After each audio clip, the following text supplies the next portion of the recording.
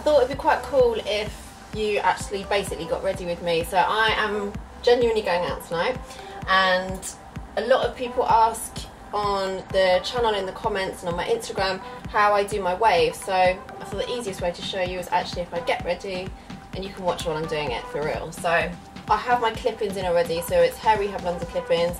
They're already in. Don't know if you can see. They are in.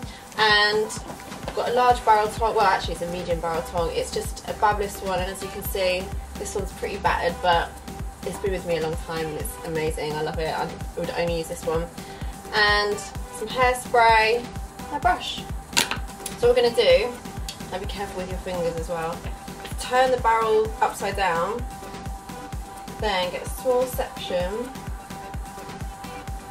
and then holding the end, you want to like twist it outwards and hold your own hair at the end. Don't put it in the tong. That's basically so you don't get a real tight, dramatic curl. We don't want that. We basically want like a loose wave.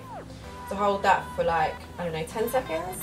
This is obviously my own hair in this section, so depending on your hair texture, my own hair is quite fine, so it doesn't take long in the tongs. And then you repeat the process. Again, maybe like 10 seconds.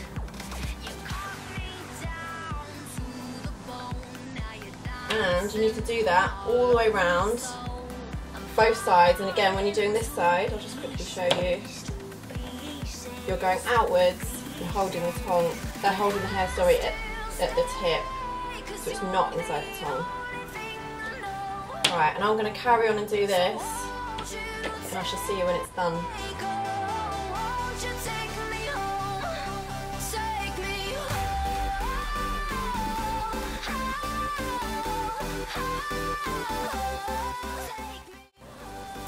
But the tonguing is pretty much done. There we go. And I don't know if you noticed, but there wasn't like any like routine of which bit you have to tong. The kind of the more random and messier the better to be honest because you don't want it to look too like structured. Right, so now the hair's being tonged, it's cooled down.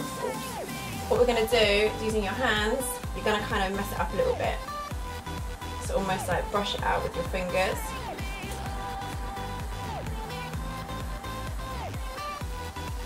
Then using your comb, this is a trick, I have done it in another video, but I just love doing it, so I'll show you again. Basically hold the bottom of your hair, then using the brush, it's almost like brush upwards, like you're back combing the ends. Do it on these bits as well.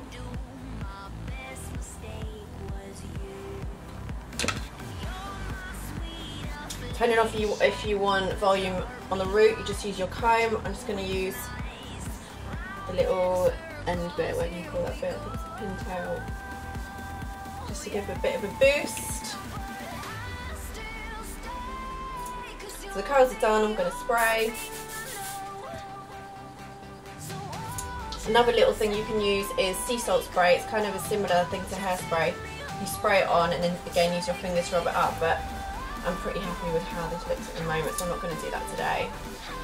But there you go, hopefully that's shown you just how easy it is to create these waves. Um, this, like I said, is clip-in extensions, it's Hair Rehab London.